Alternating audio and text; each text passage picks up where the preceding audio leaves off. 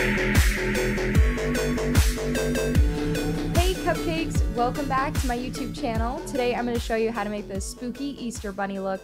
First off, we're going to start by making the teeth. I have this Polymorph plastic that I put in some water and then I microwave that for about 60 seconds, let it cool down a little bit, and then I pinch off just a little bit, roll it in between my hands and make it into a sharp little tooth, and then I shape it back and forth, and then I make about 30 of these. Next, I'm making our liquid latex paste, just taking liquid latex and flour. I add in the flour bit by bit. After I stir some, I add a little bit more flour. That way I can keep the consistency where I want, kind of like a cookie dough consistency. I apply it right on top of my face cast. If you do not have a face cast, you definitely need to make a face cast. I will post a video on how to make one here shortly, but you can find one on my Instagram or on any YouTube video.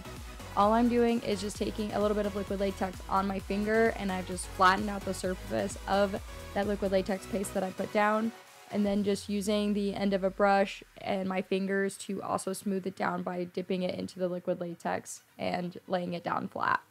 I got these eyes from Amazon, so I'm just pushing some of those eyes into the liquid latex paste that I'm laying down. This is very, very sped up. This is something that you do want to take your time with. About about 15-ish minutes to play with the liquid latex before it starts kind of creating like an outer film on it. I'm just pushing in some of those teeth into the liquid latex too before it creates that film that I was telling you about because you definitely want to have the things that you need to put into the liquid latex to already have that into it before it starts drying because if not you would have to puncture it and it's going to create you issues in the future.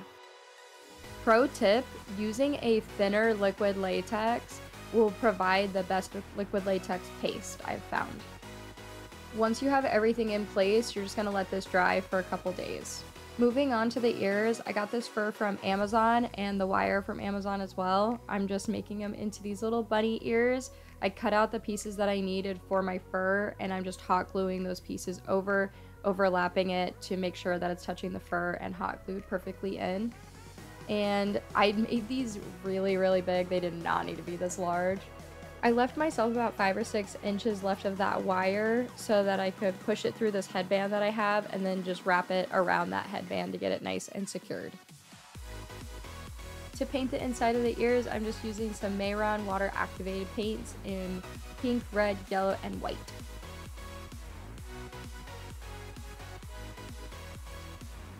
I'm getting started to paint on the base of my prosthetic and I'm using this pale green cream paint that I mixed up. Using a cream paint as your base I feel is the best way to start.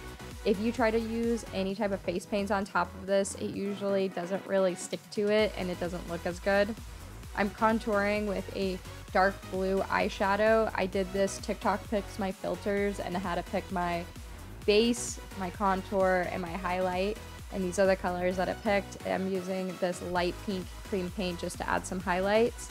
On the teeth, I'm using a dark blue for the root. I used like a off-white for the base of the teeth and then a light pink to fill in for like kind of grime.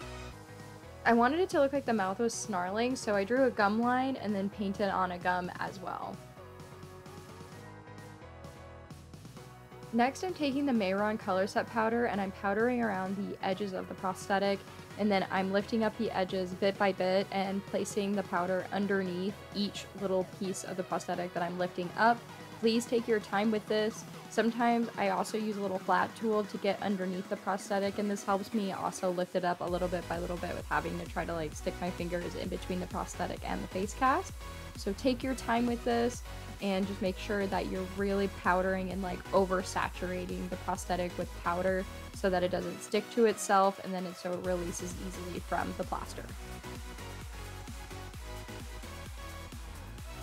Next, you're to make sure to powder the inside of the prosthetic. Make sure to oversaturate it because sometimes it might still be a little wet. So saturate it and that'll make sure to create a dry surface for you. With some tiny scissors, I'm cutting out the mouth hole and getting just as close up into the mouth as possible so I can just cut off all that extra. And then with some larger scissors, I'm going around the outside, cutting around the edges, trying to leave a little bit of the edge there because the thinner the edge on the outside, the easier it is to blend. But if you do have blunt edges, then that's what it is, and you just gotta work with what you got. if the eyes or the teeth were to fall out, then I just super glue them back on and give yourself about a day's worth of it drying so that you're not getting any type of fumes close to your face. It's application time and I'm applying some Elmer's glue stick right on top of my one eyebrow that prosthetics is going to cover. I'm taking the Mehron Paradise paints in brown and black and just painting right over my mouth where the prosthetic is going to sit so that you can't really see the inside of my mouth. And then I'm taking some liquid latex and applying it onto my face, not getting it in my hair or on my eyebrow. Even though the one eyebrow is completely coated, I don't really like to put liquid latex on top of that. Once I have the liquid latex on my face and in my mask, I apply the mask right onto the center of my face and then edging it out until I get to the edges and then I make sure that the edges are nice and secure to my face and it's sitting properly. If you put it on and it doesn't sit properly, remove it and restart. The last thing that you want is a prosthetic on your face that you know is not sitting there correctly.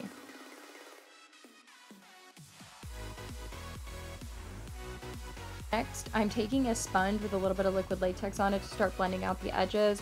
I normally would use something smaller like a q-tip or something like that to get the edges as thin as possible, but use what you got and just make sure to try to blend out the edges as much as possible.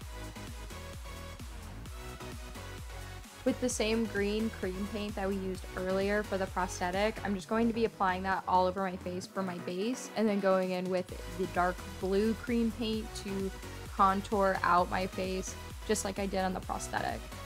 Friendly reminder to please like and subscribe. Thank you.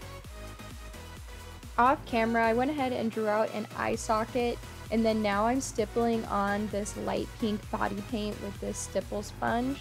I wanted to create this really interesting texture and just apply it to make sure that it all looks in unison with the prosthetic.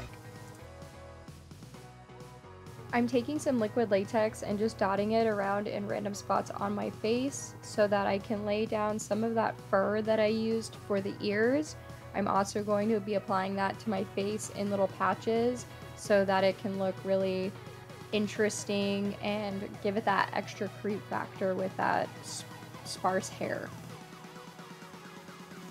I always like to give my hair a really good tease, so here I am just teasing up my hair and then I'm going to be putting on my ears. I want to make sure that my hair is as crazy as possible so that I can kind of pull that hair right over top of the ears on the headband and hide that headband. And then you just bend your ears and get them in the shape that you want. I got some really awesome lenses from Miss Lens. And here's our final look. Thank you so much for watching. Please give me a like and subscribe. See you in the next one.